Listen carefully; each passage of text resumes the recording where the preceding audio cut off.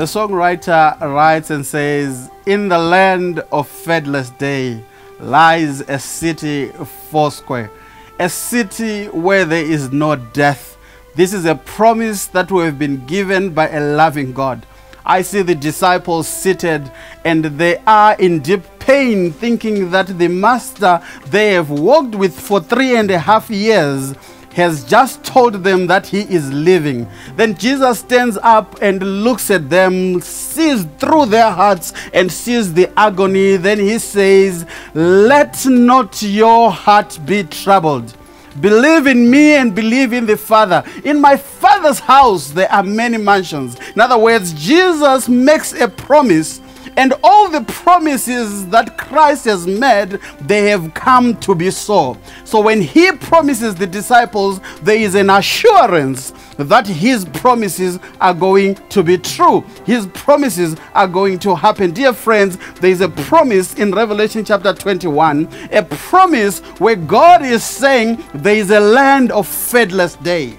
There is a land that Christ is preparing for us. The millennium has finished. The thousand years, they, they, they, they are gone. Now the new earth is coming. The new earth is has been brought forth after Jerusalem has come down. We see a new earth being ushered, a new earth being put before us, a place of dwelling for the children of God. The Bible says, Then I saw a new heaven and a new earth.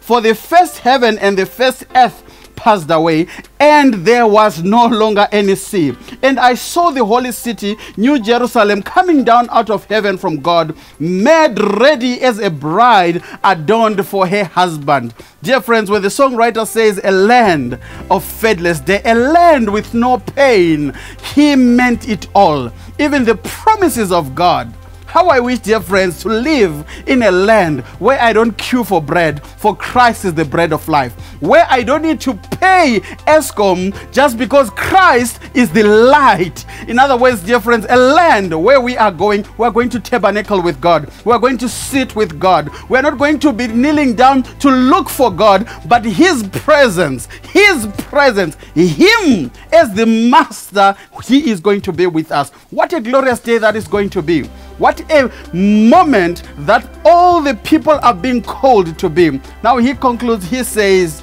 For God so loved the world. For God so loved the world. In other words, those loved by God, they are the ones who are going to be part of this group of people who are going to be here. That he gave his only begotten Son, that whosoever, the greatest invitation ever, should not perish but have everlasting life, the greatest promise in this land there is going to be everlasting life. No more mortuaries. What a loving God that we have. Be part of the winning team and join those who will be saved. May God bless you.